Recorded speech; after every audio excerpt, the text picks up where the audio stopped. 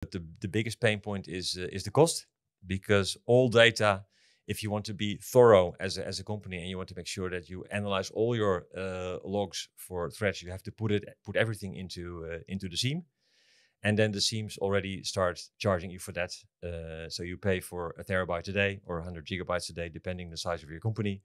And once the data is already in the SIEM, you paid for it, then you start uh, processing the data, you start filtering it, you start enriching it, you start putting it into the right format, but you've already paid. Uh, and what we basically do is say, okay, we do the pre-processing,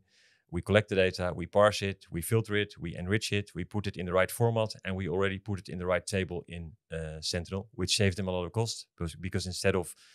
paying for 100% data ingest, they pay for 20, 30% because we filter out all the uh, all the irrelevant uh, data. And this solves the, the, the main problem, which is the high ingest cost.